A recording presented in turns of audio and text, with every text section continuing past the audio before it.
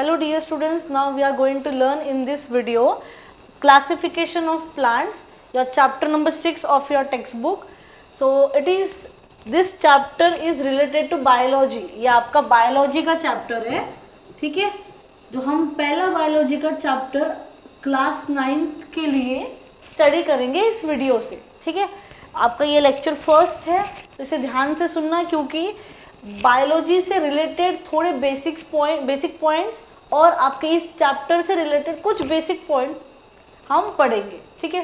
पहले हम टाइटल को पढ़ेंगे और बायोलॉजी को पढ़ेंगे, फिर हम उस, उसमें डिटेल्स में जाएँगे, ठीक है?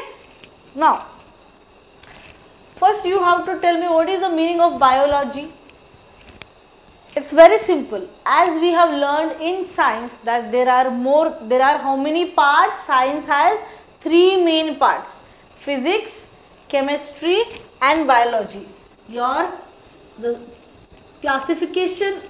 in terms का अभी क्लासिफिकेशन है तो अभी हमें देखना होगा।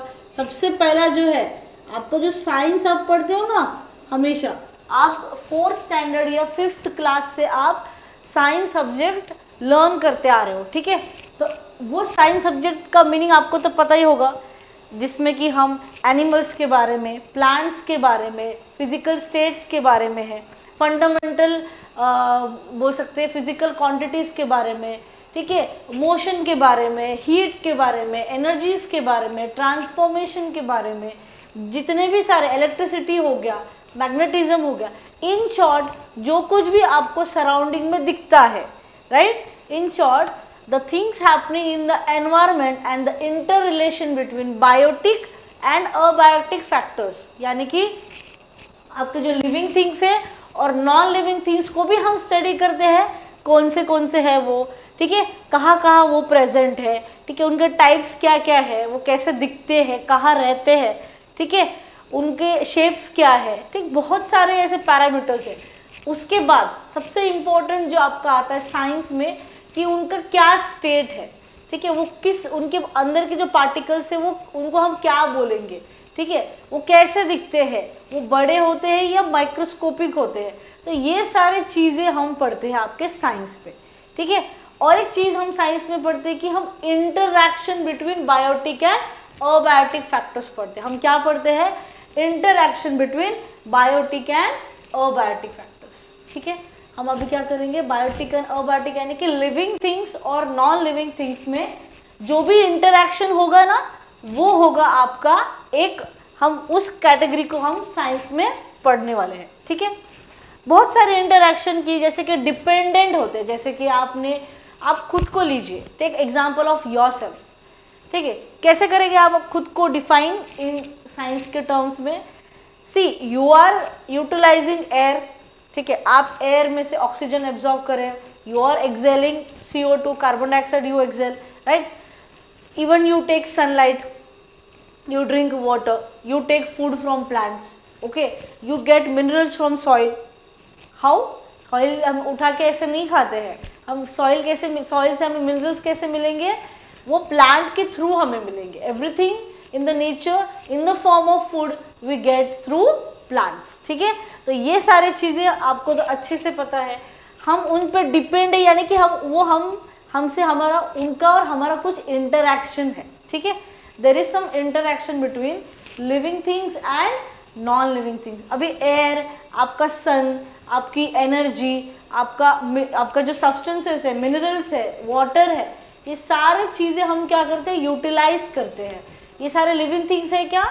No it's they are not living things क्यों? क्योंकि वो उनके अंदर सेल नहीं होता या उनको उनके अंदर एक प्रोसेस नहीं हमको देखने को मिलती। कोई प्रोसेस होता है कि आपको देखने को मिलता है कि हाँ उनकी ग्रोथ हो रही है, ठीक है? वो कुछ एब्जॉर्व कर रहे हैं रिलीज़ कर रहे हैं एनर्जी कुछ भी नहीं, आप कुछ भी नहीं देख सकते हो इन टर्म्स में। एयर में आप लाइव नहीं देख सकते हो सॉइल में आप, ठीक है? सॉइल एज अ पार्टिकल आप देख सकते हो, पर सॉइल में आपको ऑर्गेनिजम्स भी मिलेंगे, ठीक है?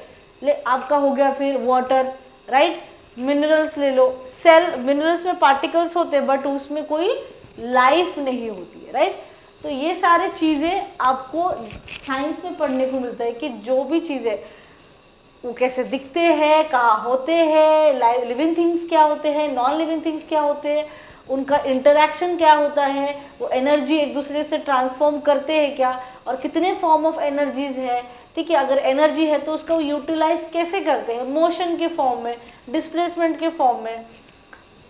आपके कन्वर्जन ऑफ़ एनर्जीज होते हैं। अगर वो कुछ भी नहीं करे, एक ही जगह पर है तो उसका एक स्टडी होता है। इलेक्ट्रोस्टैटिक्स बोलते हैं हम उसे, ठीक है? मैग्नेटिक फ़ील्ड भी क्यों, क्या होती है? आपका मैग्नेट अगर एक जगह पर हो तो वहाँ पे फ़ील्ड जनरेट होना, ठीक है?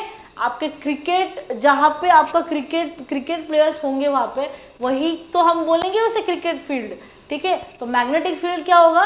जहाँ पे मैग्नेट प्रेजेंट है तो वहाँ पे मैग्नेटिक फ़ील्ड होगा। जहाँ पे आपका चार्ज प्रेजेंट है, वहाँ पे आपका इलेक्ट्रिक फ़ील्ड होगा right so these many factors are there are there these many factors will make you understand about science better right तो साइंस में बहुत सारे चीज़ें हैं, ठीक। तो इतने सारे चीज़ें तो हम एक साथ पढ़ेंगे, तब हम उसे साइंस कहते हैं। लेकिन हम ये चीज़ तो कर सकते हैं कि इसका डिवीज़न कर सकते हैं कि हाँ हम सिर्फ़ लिविंग ऑर्गेनिजम्स यानी कि जो ऑर्गेनिजम्स है, ठीक, उनको हम अलग कर देंगे। कुछ पार्टिकल्स या स्टेट्स ऑफ़ मैटर या फिर आप सॉलिड लिक्विड गैस और उनका इंटरक्शन उनका एनर्जी डिफ एनर्जी ट्रांसफॉर्मेशन ये सारे कैटेगरी हम अलग कर देंगे, ठीक? और हम कुछ केमिकल्स सेपरेटली हम अगर केमिकल्स देखेंगे कि हाँ एक केमिकल हमने लिया और दूसरे केमिकल्स के साथ हमने उसे रखा, ठीक है? तो वो कैसे एक दूसरे के साथ रिएक्ट करेंगे, कैसे इंटरैक्ट करेंगे, वो भी तो एक पार्ट हो गया जो हम साइंस में ही पढ़ते हैं।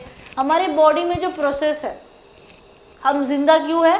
क्योंकि हमारे बॉडी में कुछ प्रोसेसेस होते रहती है। वो होते हैं आपके केमिकल प्रोसेस आपके क्या हो जाएँगे वो? केमिकल प्रोसेस तो ये केमिकल प्रोसेस करने के लिए आपको क्या चाहिए? आपको केमिकल्स चाहिए, ठीक है? हीट चाहिए आपको। रिएक्शन आप अगर कर रहे हो तो आपको हीट चाहिए, आपको केमिकल्स चाहिए। तो ये सारे चीज़ें हम कहाँ पढ़ेंगे? हम पढ़ेंगे केमिस्ट्री में। तो देखिए साइंस के तीन पार्ट्स होते हैं। आपका फिजिक्स ठीक है? फिजिक्स, फिर आपका आएगा केमिस्ट्री, फिर आपका आएगा biology